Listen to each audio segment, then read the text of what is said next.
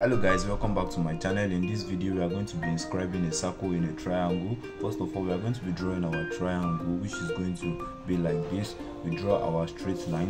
We are going to label here as point a. Our triangle is going to be an equilateral triangle. So i'm going to be using 10 centimeter.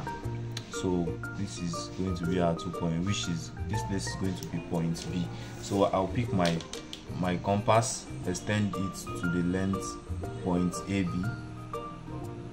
point AB I strike an arc here. I'll also place it at this point also and strike an arc like this. So I'll join this together and join this also. So now I'm going to be I can put this place as point C so now we are going to be inscribing our circle in this triangle.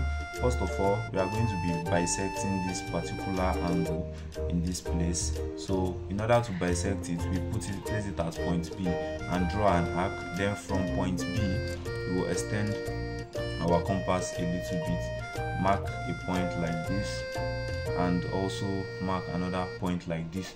So from this point b we'll draw a straight line passing through the arc we have marked we also place it on point a and do exactly the same way we have done for point b. We draw an arc then place it at this point extend mark a point here and place it here also mark here. Then we extend it from point a like this passing through the arc we have marked we are going to be putting it like this. So this point is going to be point o. We can actually bisect this one also but for the purpose of this video i'm just going to be using only points a and b. I'm going to be bisecting only points a and b. In other videos you can actually use point b and c. So now we are going to be drawing the circle the, middle point of the circle is going to be here and in order to draw this the circle is going to be touching the three edges of this triangle.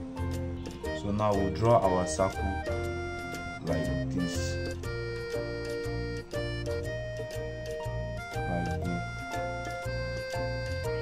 So this is our inscribed circle if you found value in this video please kindly hit the like button subscribe if you are not subscribed to our channel before and kindly turn on the notification button to be the first to always get any more of our videos. Thanks for watching. Share with your friends